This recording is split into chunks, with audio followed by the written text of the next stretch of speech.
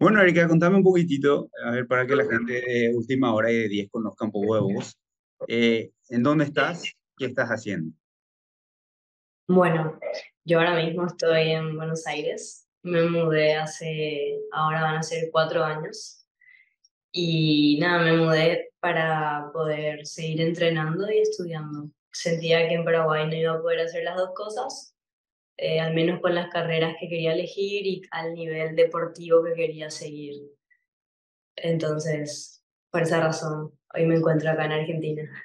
Para los que no saben quién es Erika, es Erika Larcón, es la el número uno del mundo en, en patinaje. Ahora esta semana se volvió el número uno y fue un furor, porque capaz muchos te tenían de los Juegos de Sur, ¿verdad? Y de, de otras competencias, pero claro, el patín no tiene tanta repercusión y, y como nos estás contando, en Argentina es, es, es otra cosa. ¿Y qué estás estudiando por allá? Y mira, también fue una, una, como una larga decisión eso porque eh, comencé con ingeniería civil, Ujú. eh, estaba en segundo año, este año estaba en segundo año, pero tomé la decisión de, de cambiar, me fui más hacia lo artístico que arquitectura, la misma rama, pero un poco más de diseño y todo eso. Eh, así que nada, estoy tratando ahora de, de otra vez ponerme como a, en línea entre la facultad y, y el patín, que obvio es muy complicado ya de por sí hacer una carrera solo, es complicado y con el deporte muchísimo más. Eh, eh, hablábamos, o sea, hablaban en la semana con tu papá y comentaban lo, lo dedicada que, que sos, lo, lo estudiosa y cómo también congeniabas el tema acá en Paraguay, el, el, colegio y el patín cómo te daban, el- cómo te hacían el aguante en el colegio, ¿verdad? Para que puedas hacer las dos cosas al mismo tiempo. Allá en la universidad, ¿cómo es? Eh, ¿también te dan de repente algunas licencias o no, no tanto? Y justamente eso fue una de las cosas con las que más me compliqué con ingeniería, ya que al no ser de la selección nacional argentina, no tengo los mismos beneficios que ellos como, como argentinos tienen en su facultad nacional, que capaz yo hubiera tenido eso en Paraguay. Eh, pero bueno, esas fueron algunas cosas que me pasaron, por ejemplo, el año pasado, que fue un año de muchas competencias. Por ejemplo, todo junio yo no estuve acá y es época de, de, de exámenes. Así que fue un, mes donde yo falté a los exámenes y terminé recursando una materia porque no tuve la oportunidad de, presentarme siquiera. Eh, entonces, esas cosas, eh, siendo deportistas de la selección de acá, eh, sí te tienen un poco más de en cuenta. Es igual, depende mucho de la materia, porque justo en esta materia a mí no me tenían en cuenta, pero hubieron otras que sí. Así que es, es un poco depende, como toda facultad. Pero, pero bueno, sí tuve cosas como esas. Eh, fue una de las razones también por las que terminé desistiendo. Mm. ¿Cómo es contar un poquitito tu día a día, ¿verdad? Eh, hablábamos por, en privado y me decías, tengo patina hasta las 7 de la tarde, ¿verdad? Y no sé de qué hora ha empezado, cómo te mueves. Contar un poco cómo es tu día a día. Bueno, mi día a día de- en época de competencia, eh, bueno, varía mucho obviamente porque eh, en época de competencia es, tus días son a tope todo el tiempo. Eh, normalmente me levanto tipo ocho y media, nueve de la mañana. De ahí me voy eh, a entrenar, comienzo a entrenar. Nosotros tenemos como una hora de viaje para, para llegar a nuestro lugar de entrenamiento. O sea que es una hora de ida y una hora de vuelta. Comenzamos a entrenar tipo 11 de la mañana, eh, de 11 a 5 de la tarde. Ahí se divide entre preparación física y horas de patín y una hora de descanso siempre en el medio. Así que a las 5 termino, de ahí vuelvo a mi casa, que es como te dije, una hora. Llego tipo 6 y tengo facultad a las 7. Entonces, entre que meriendo, me baño, me cambio, salgo corriendo, llego 7 y cuarto, 7 y 20 a la facultad hasta las 11 de la noche. Uf, terrible. Totalmente, totalmente, este, o sea, a las corridas anda, anda de aquí para allá a las corridas. Sí, eso sería los lunes, martes y jueves. Por suerte, los miércoles y viernes son solo de entrenamiento, facultad no, así que esos días son los que estoy más chill, por así decir, más tranqui. ¿Y, tu staff con, de, de, entrenamiento, cómo se compone? ¿Quiénes están contigo? ¿Quiénes son las personas que están cerca tuyo y están siempre detrás? Y acá tengo dos entrenadores de patín, eh, Analia Rosas y César Agrelo. César es el que todo el mundo le conoció en, los juegos el, año pasado, donde el video este viral que le abrazaba. Bueno, él es mi técnico desde que tengo nueve años, más o menos. Em, después tengo preparadora física, que también es de acá.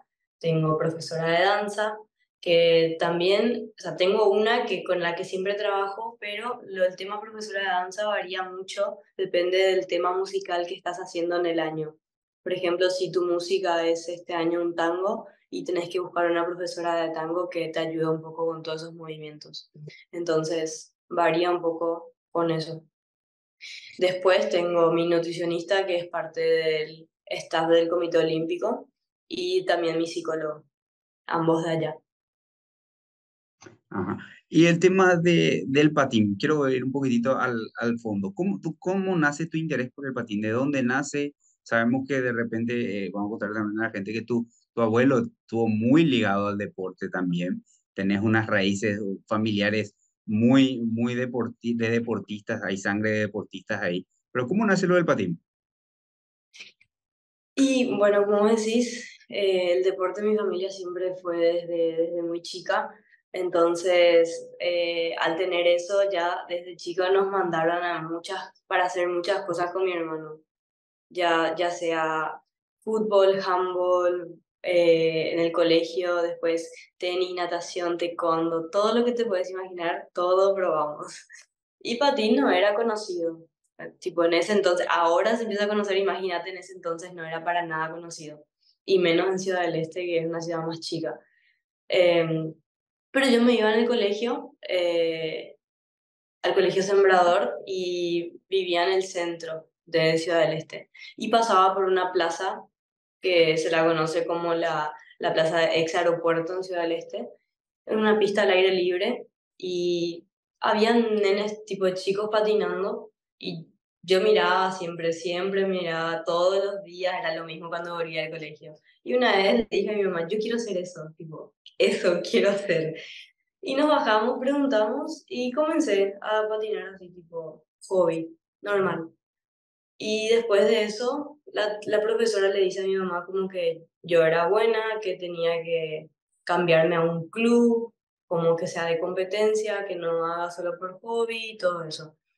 Ahí es donde yo empiezo a entrenar bien, mejor, me cambio de club, eh, comienzo a, a, a, comprarme los patines tipo más semi-profesionales.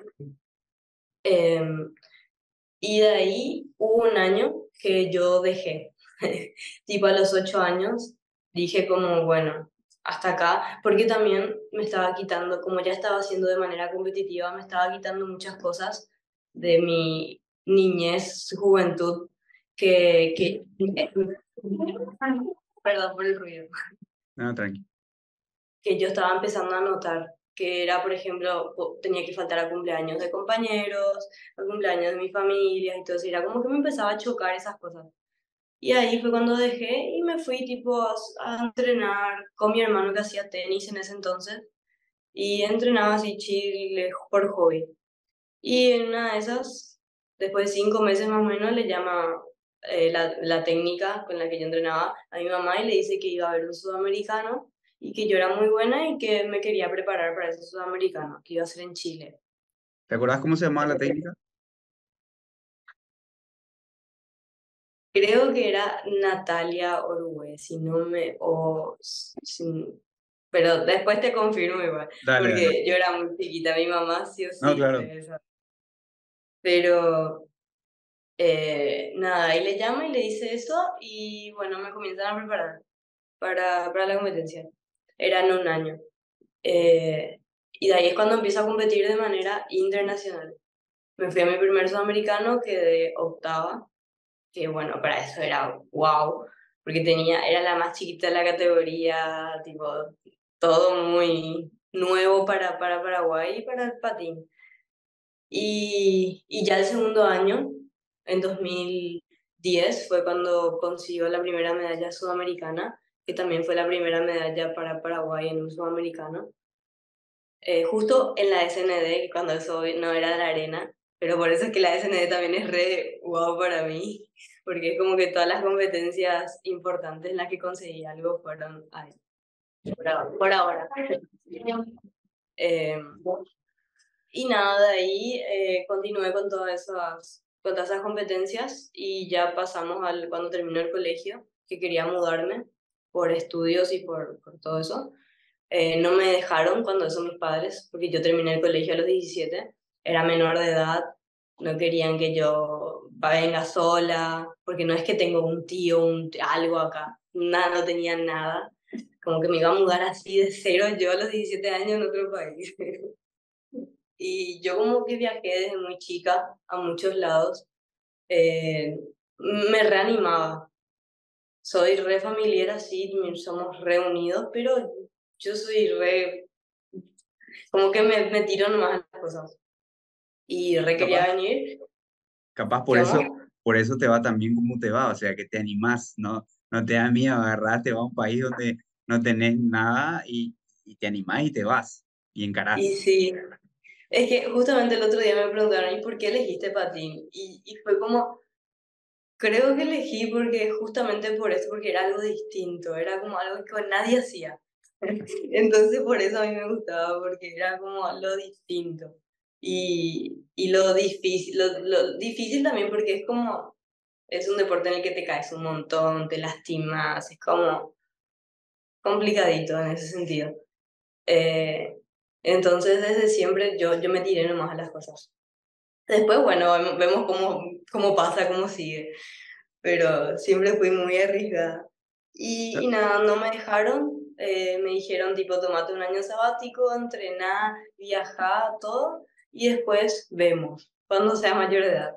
Ellos esperando con que yo cambie de decisión y diga, no, no me quiero ir. no cambié. Así que en 2019, cuando yo vuelvo al Mundial, eh, había quedado octava del mundo, cuando eso en España, en 2021. Dije, yo me quiero mudar, tipo ya. Y volví y yo ya tenía todo visto, dónde me iba a mudar, con quién me iba a mudar, todo. Y ahí le dije a mis padres, yo me voy a mudar ahora en un mes ¿ustedes me pueden apoyar o no? Y, y obviamente ellos me apoyan en absolutamente todo y nada. Mm. Ay, perdón. No, tranqui, tranqui, no se acordó, no, te preocupes. Sin duda es ah. trascendental eh, lo que me estás contando, el tema de tus padres y el apoyo, eh, pese a que, claro, menor de edad y todo, igual te, te bancaron, te esperaron un ratito, terminaste tus estudios básicos, después, bueno, veremos si, si la niña quiere seguir en esto y estás en esto, ¿verdad? Lo que quería, quería ver si es que conseguís el nombre de esa entrenadora, porque a, ella hay que darle un mérito especial para que se, sos, gracias a esa de repente pequeña insistencia o esa, ese ojo que tuvo esa entrenadora que te dijo, eh, eh, lo que le dijo tu mamá, che, Erika tiene que seguir porque va a llegar a cosas grandes. Y mira, ahora número uno. Sí, sí, sí, obvio. Es que igual no sabes la cantidad de veces la que yo dije, bueno, quiero dejar hasta acá llegué. Y siempre había esa, esa persona que era como, no, Erika, seguí. Eh, mi técnico ahora, por ejemplo, César, es incontable las veces en las que yo, yo volvía de una competencia y le decía, César, ya no, y César estaba ahí atrás mío y me seguía insistiendo, insistiendo. Eh, así que nada, porque es lo normal de un deporte igual, querer dejar. Él, él había dicho una vez a, a, una persona que me preguntó, como alguna vez quisiste dejar, y yo, si algún deportista te dice que nunca quiso dejar, te está mintiendo. o sea, incontables veces querés dejar porque o te va mal o, o no te va como querías, o simplemente porque tenés un desgaste mental y físico. Yo después de lo del sur terminé muerta, pero muerta porque fue un año muy, muy desgastante. Uno era una competencia muy importante para Paraguay y uno como deportista paraguayo quería dar lo mejor. Eh, entonces ya con eso eh, yo me fui a entrenar dos veces a Italia, que es la potencia de patín. Eh, las dos veces me fui casi un mes, pero son un mes donde lo único que haces es entrenar. Y entrenar tipo muchísimo. Y, y para la de sur, la última vez me fui en agosto, en agosto, septiembre, y era verano allá en Europa. Entrenábamos bajo el sol, unas ocho horas al día, ¿no? tipo, la pasabas mal. Entonces, nada, después lo de sur como que yo quedé desgastada totalmente y también, aparte de eso, es como que conseguí algo muy grande y era como, ¿para qué voy a seguir? O sea, ya, ya logré eso. Ya pasé lo mal, todo, todo lo que tenía que pasar ya pasé. ¿Para qué quiero seguir más? Y eso también pasa con el patín, porque no es como otro deporte que tenés eh, tenés como una carrera deportiva, por así decirlo, podés vivir de eso. En patín lastimosamente todavía no es así. Entonces es un poco distinto después de cada competencia cómo te agarran tipo, un montón de, de pensamientos. Claro, justamente de ahí, de ahí también quería ir hacia, hacia eso, ¿verdad? ¿Qué, ¿Qué hay después del número uno? O sea, ¿qué hay después de, de, de, ser la, de estar como la mejor del mundo ¿Qué, ¿Qué, otros retos de repente? Me imagino que lo hablas mucho con tu coach, ¿verdad? Y con, capaz con alguien, con la gente que, que, tenés, que te apoyan en la, parte psicológica, porque el deportista no es solamente el físico, sino muchas veces lo que me estás contando, la cabeza, o sea, tratar de buscarse nuevo, nuevas metas, nuevos logros. ¿A qué le apuntas ahora? ¿A, a, a dónde vas? ¿Hacia dónde vas? En lo deportivo. Sí, obvio. Más, más en un deporte individual donde depende totalmente de vos. Eh, y a ver, eh, claramente lo, lo, lo, mayor que tiene Patín es el campeonato mundial. Que por más de que yo ahora esté en el ranking número uno, estos fueron sumas de, de, competencias del mundial del año pasado y dos copas de este año, lo que me dejaron eh, en el ranking número uno. Pero yo eh, puedo decir que la única medalla que me falta es la competencia mundial que claramente el ranking está diciendo que soy ahora mismo la número uno, pero eso se va a definir en la competencia mundial, que va a ser ahora en dos meses y medio. Entonces, eh, esa, esa sería, ese sería como el último paso de, de cualquier patinador. Perfecto, totalmente. O sea, está, está, está bien marcada la ruta, está súper, súper bien apuntada para una deportista súper joven como vos y, y además me imagino, eh, ¿cómo, ¿cómo tomaste lo del tema del número uno? Eh, o sea, acá en Paraguay explotamos obviamente porque en Paraguay número uno en deporte mm, contados con esta mano, más o menos. Y sos una de esas, o sea, me imagino que, eh, o sea, ahora te costó para entrar en la cámara porque tu espalda así es grande tu ego, ¿verdad? Pero súper orgullosa y, y, totalmente merecido, ¿verdad? Totalmente merecido. y a ver, no te voy a mentir que una vez claramente que me enteré de todo eso fue como, ok, primero fue re shock, porque sé que también, sé que, qué es lo que implica eso. Sé qué es lo que va a implicar también justamente para esta competencia mundial. Eh, todos te van a mirar cuando vos entres, cuando vos entres, todos te van a mirar, vas a hacer... Exactamente. O sea, lo primero que, que se me cayó fue, ok, mucha presión.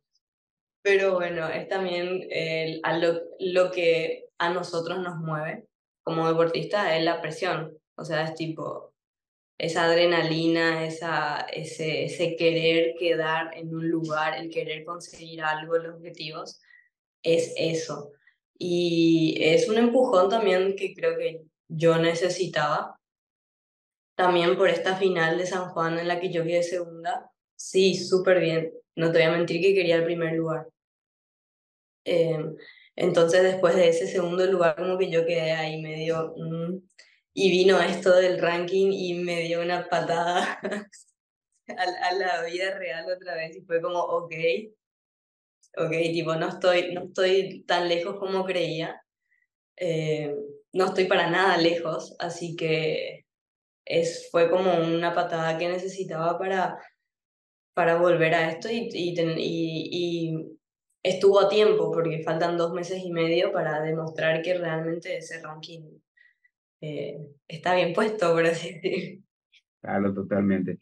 Por último, eh, eh, quería hablar del tema, todo, todo este desgaste, toda esta vida que estás llevando en, en Argentina, toda esta dedicación, todo tiene un, un, esfuerzo tanto físico y mental y también económico. Entonces quería saber qué tal, qué tal iba con eso, qué tal, cómo vas recibiendo, cómo te vas moviendo. escuché por ahí que, que tenés un apoyo del, del gobierno, no sé si es suficiente, no sé si no. ¿Cómo viene esa situación, la situación monetaria? Sí, a ver, es el tema más complicado de todos los deportistas siempre, eh, de los deportistas amateur más que nada. Em, sí, desde el año pasado yo tengo la beca de la Secretaría Nacional de Deportes. La, la beca se, se, se, rige a través de requisitos. Eh, si vos alcanzas ciertos requisitos, vos tenés tal beca. Tenés desde proyección hasta Elite A. Eh, yo el año pasado tenía Elite C, que pues recibí esa beca gracias a que yo había quedado en el Panamericano eh, segundo lugar en 2021. Entonces, gracias a esa competencia, a mí me dieron el año pasado. Y también, no te voy a mentir, era, yo era una de las posibilidades para medalla en la Sur, entonces apostaron por mí. Mm. Tipo, esa fue una de las razones también por la que yo empecé a recibir la beca el año pasado. Em, después de la de Sur, claramente eh, me subieron porque cumplía los requisitos del siguiente nivel, por así decir, que es el ITB, que creo que es lo máximo que Patín puede llegar a recibir esa beca, porque creo que el ITA ya es solo para deportes olímpicos. No, no sé realmente, pero creo. Em, es un monto elevado, son 8 millones por mes, pero no es, no es un monto elevado para el deporte. Porque yo una vez por mes al menos tengo, tengo que competir y viajar. Y una competencia implica un pasaje, estadía, hotel, comida, entrenador, eh, los trajes, todo. Entonces, mínimo por cada competencia yo gasto unos mil dólares depende del país donde sea. Justo yo tuve esta suerte, la suerte de que este año la mayoría de las competencias que me tocó por ahora fueron en Paraguay y en Argentina. Entonces, eh, los gastos no fueron tantos. Mm, Súper bien, eso me vino a mí para, para poder ahorrar, para poder todo. Pero, por ejemplo, ahora el Panamericano, que es en un mes, y el Mundial, los dos son en Colombia que sí ya es un país mm, bastante más carito. Solo el pasaje está alrededor de 700 dólares, casi 800. El, el hotel casi lo mismo y así. Entonces, eh, con todo eso, la gente tipo escucha 8 millones, pero es mucho para nuestro país, pero no para todas estas cosas a las que yo tengo que cubrir porque tengo 23 años, tengo que pagar mi alquiler, tengo que pagar todo mi, mi mes, mi supermercado, todo. Oh. Mi, mi transporte, tipo, yo no tengo auto, entonces me tengo que ir en Uber todos los días a entrenar esa una hora de ida y una hora de vuelta. Son cosas que van sumando todos los días. Entonces, parece mucho, pero no, no es tanto como, como suena. Así que no, no, no, no es como un futbolista o un tenista ahora mismo que gana y le sobra. Sin duda. Yo creo que ahora con el número uno vas a ir a así. Buenas, ¿qué tal? La número uno del mundo, aquí estoy. ojalá, ojalá. Va a quedar en, acá con la labor de tu papá. Tu papá está por acá, ¿verdad? Sí, toda mi familia está, está por allá. Vos solita estás por ahí, por Buenos Aires. Sí, yo creo que también se debe a un poco a eso el tema de sponsors, que es muy más complicado al yo estar acá. No, claro, sin duda, no, no es tan fácil. Bueno, Erika, te agradezco mucho tu tiempo. Creo que te robé más de lo que te hablamos en la previa, pero te agradecemos mucho cada vez última hora de 10 eh, orgullosos, la verdad, todos muy orgullosos esta semana de darnos lo de tu puesto número uno. Y ojalá que sigas así, ojalá que puedas seguir defendiendo al país. Nos, nos enorgullece demasiado tenerte y saber que una paraguaya está triunfando sola, sola en el extranjero y haciéndolo a todo pulmón y metiéndole una ganas increíble y defendiendo la bandera paraguaya por sobre todo. Así que te agradecemos mucho, Erika, por tu tiempo. Muchísimas gracias.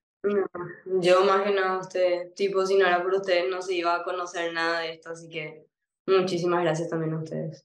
Dale, gracias, Erika.